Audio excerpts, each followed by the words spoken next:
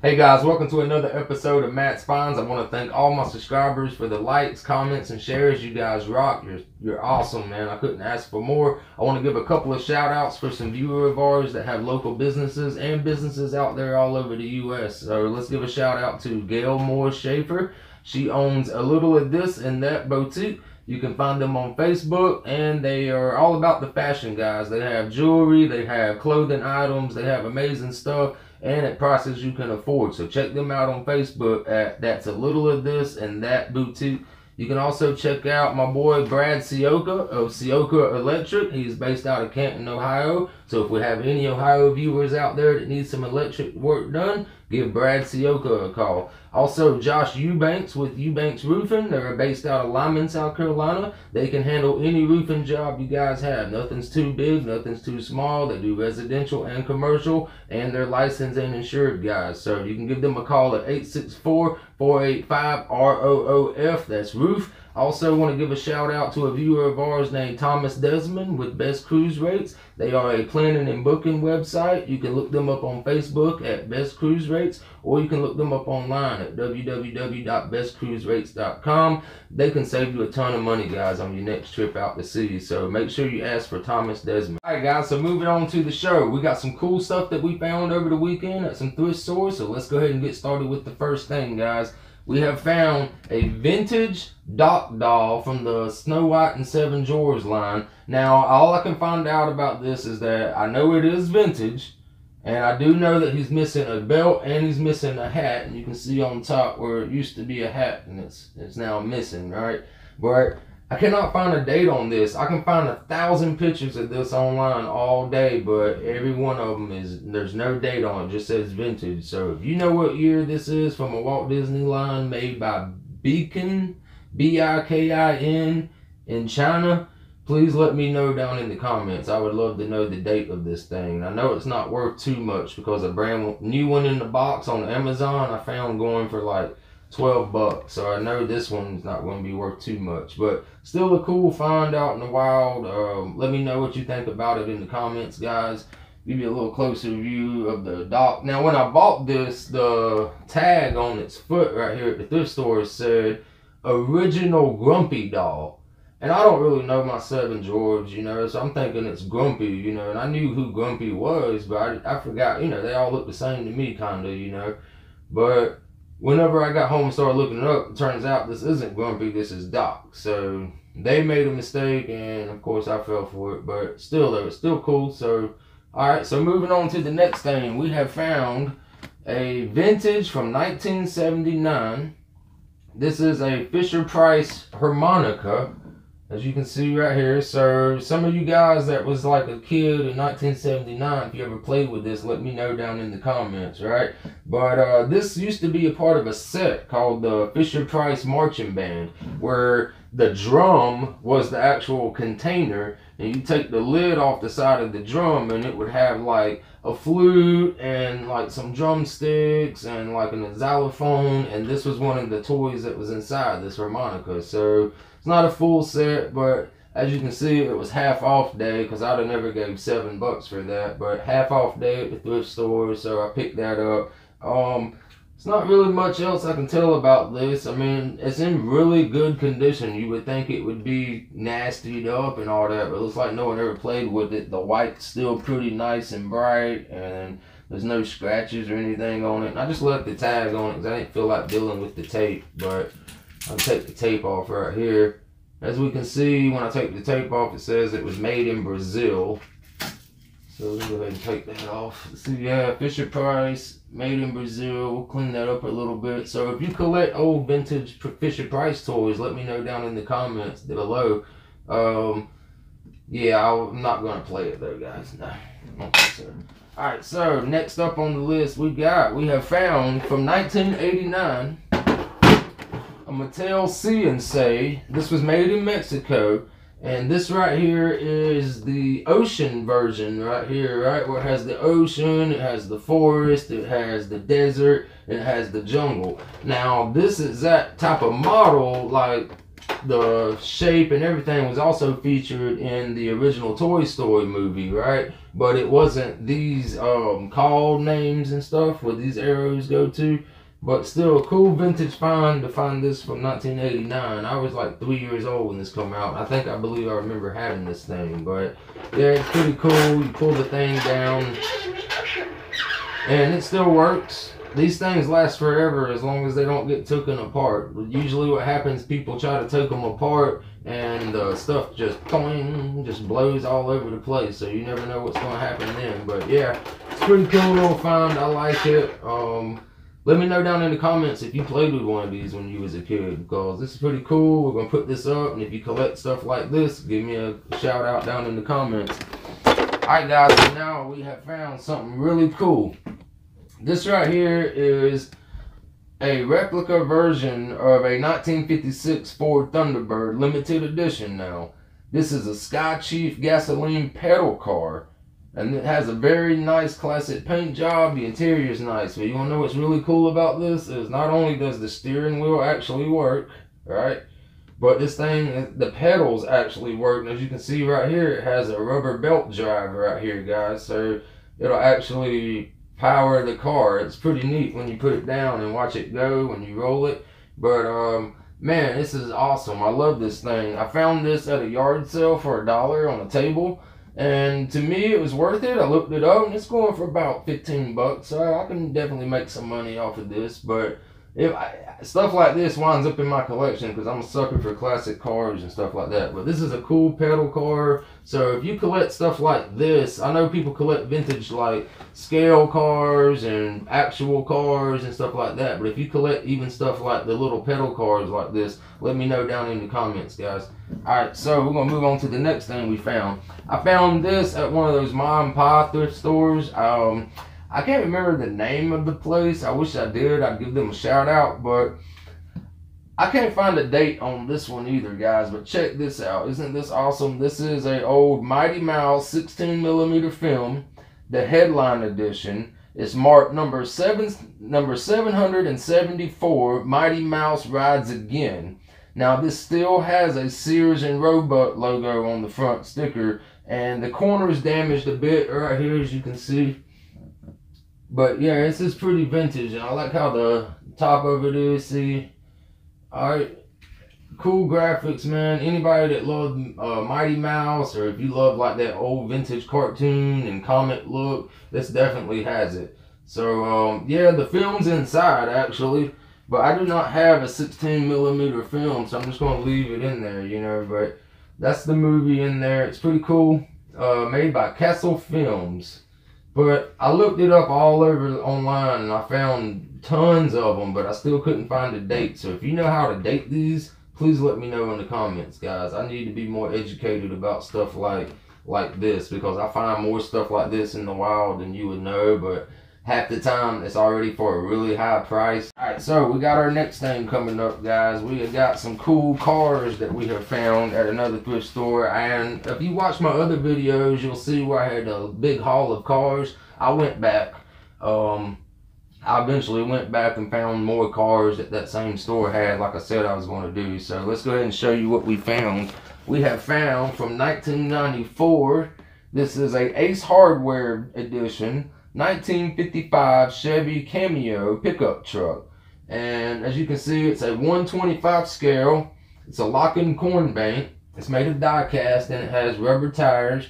And it's got the Ace logos on the sides and it's got plumbing, hardware, and paint written at the top of the containers up there in the trucks. I think that's really cool. I love this because I do plumbing, so that's pretty cool. I might keep that for myself to put up on my shelf over there. And one day, you guys, I might show you my collectible shelf over there. But right now, I like keeping my treasures hidden. But yeah, this is made by Ertl. I want to call them Ertl. If you know a better way to pronounce it, that's all I know. Is I come across a lot of these cars where the brand is E-R-T-L. So I'm just going to say Ertl. But yeah, this is a pretty cool uh, car. It's never been opened, and I don't want to open it because I'm sure that retains its value more to a collector out there to not be opened. So we're just going to leave it in its box, guys, and we'll try to give it a closer view so you can kind of see it a little better out there. But with the case being that old, you know, I don't know, you might can see it pretty good. It's kind of a dark green color. All right, so moving on to the next car we found, guys. All right, some of you guys love this guy out there. Some of you guys don't love this guy out there. Me, I'm neutral. Leave me out of this, all right? So we have found from 1998 a Hasbro Winner's Circle Speed Weeks 99 series, Jeff Gordon, the car and the card. All right, guys, so you can see it's a brand new, never been opened. It's from 1998. Uh, only gave like a dollar for it at a yard sale. Dude wasn't asking much for none of that type of stuff. But yeah, it's got the Chevrolet registered uh, marks on the back, the official NASCAR. It's got a Dale Earnhardt signature on the back. And this was part of a series. This was the winner's Circle Daytona Speed Week. And you could get Dale Earnhardt, Dale Jarrett, Rusty Wallace, Jeremy Mayfield, Kenny Irwin, Bobby Labonte, and you could also get some cool custom series and more to come, they said. But yeah, um, awesome car. So if you like uh, collecting stuff like this, like the Daytona 500 NASCARs and Jeff Gordon and Nat- just NASCAR in general, let me know down in the comments and we can definitely get this out there to you guys. All right, so the next car that we have is from 2005. This is a Maisto Pro Rods 55 Chevy Nomad. And as you can see, it's a 164 scale. It's brand new, never been opened, and it's from 2005. It's got official Dodge uh, and GM logos on the back. Um, this is in great shape. I love the color of this car, guys, and it's got a opening hood and a detailed engine. So I'm going to try to get that out there for you guys so you can kind of see it a little better. Alright, it's never been opened and we're not going to open it. The packaging is nice and sturdy, so it's in great shape. Uh, looks like it's been storage all its life and I've had it for about a couple of weeks now. So it's been indoors, so nothing's going to happen to it. So if you collect stuff like this, let me know. So also in the same series, we have found a 62 Chevy Bel Air. And like I said, it's part of the same exact series of Pro Rods. And it's got the same Dodge and GM logos on it. Um, I love these colors, man. These colors are awesome on these cars right here. I, I actually want to paint my 57 Plymouth one of these type of colors like this. But I'm thinking more of a seafoam green color there. But yeah, man, if you like these kind of cars, let me know down in the comments. I'm always picking stuff up like this. I mean, I always find like collectible cars. I always find collectible toys. I always find collectible, like anything that's collectible. I want to get it because I know that somebody out there needs this right here to finish their set. And there's another guy out there that needs that other one to finish their set. And that's when that's what this channel is all about, guys. If you need something to finish your collection, let me know. I want to get these items to the people that really collect this stuff. Alright, so let's move on to the next couple of cars that we have found. This one's pretty cool. This is a limited edition 1917 Model T van Rock Bank from uh, 1993. This has got the Winn-Dixie logos all over as you can see and it was made in Mexico, and this was also by the Ertl Company from Dyersville, Iowa. So yeah, if you've ever heard of Ertl, please let me know in the comments. I've never heard of Ertl. I find a lot of stuff, but I just don't know much about it. The paint's not too great on this car. You can see it starting to kind of chip at the bottom over here on the fender and on top of the cab right there. But, I mean, it's from 1993 and it's an open box. But it doesn't do anything special. It's got the nice Ford emblems on the front grills right here, and it's a bank. It has its key where you can open the port and take it out and unlock and get your money back, you know. But these are great, man. A lot of people love collecting these banks. So if I find these, I don't care what brands on it or whatever, I always got to scoop it up. So speaking of these cars, and it's crazy you got Winn-Dixie because when I was a little kid, there was actually a Winn-Dixie store right there in my hometown of Duncan. And they were the only store around for a while because we had a community cash grocery store, right? And that that shut down. So all we had was Winn-Dixie when it opened up. Well, then the next car I'm about to show you moved into town and wound up being their competitor. Well, to this day, the competitor that moved into town is still there, but Winn-Dixie eventually closed down. So who do you think that was? I'm gonna give you five seconds to guess who who was that competitor. Five, four, three, two, one. All right. This was who moved into town and caused a big old stir among everybody. And this right here was this uh, Publix. And as you can see, to this day, Publix is still around, but but uh, Community Cash and Winn-Dixie both disappeared from this area. So this right here is from 1995 to 1996. They was released in both years, but this is a uh, replica of a 1931 Hawkeye truck, and this is also by Ertl Collectibles. And like I said, it's got the Publix Market logo on it. It's brand new in the box, never been opened and sealed. This is cool. On the back it says the Hawkeye Truck Company of Sioux City, Iowa started business in 1916 manufacturing the Hawkeye motor truck. Models ranged in size from 1 ton to 3.5 tons with a 4 or 6 cylinder Buda or Wisconsin engine. This, with the exception of the hood, earlier models were made of wood and the running gear was purchased, but the frame and other component parts were built in the Sioux City facility. This great American truck was produced until the company closed in 1933 as a casualty of the Great Depression. Our 134 scale Ertl Collectibles diecast metal vehicle is available to you in six different load options delivery, tanker, wrecker, stake, and with crates or sacks. Or bottles cases are either corn bank or non bank versions. Features include shining chrome plated grille, real rubber tires, and durable glossy body paint for years of proud display with the rest of your Ertl collectibles. And that's awesome, man. See, I've never really heard of the Hawkeye company, you know, like we've all heard of like Ford and all of that, you know, but it's just like Lincoln, you know, Lincoln's owned by Ford and you got like, you know, like the Mopar was all owned by like GM and Chrysler and all that, you know, it's just like that's crazy that these could have been trucks of like the 60s and stuff, but like I said, they they went out during the Great Depression. So that's that's that's crazy, man. Alright, we got one more car to show you guys. This one right here I found loose in the toys. And I looked at it and I was like, man, it's not just like a, a toy you give your seven-year-old. You know, this was a collectible. So I picked it up. They only wanted 50 cents for it. Only thing I can really find out about it is it's a 132 scale from 2009 and signature models. It's of a 1941 Packard Darrin convertible. Now, it's missing its box, of course. Like I said, I found it in the toy area. But it is missing one fog light on the front right here.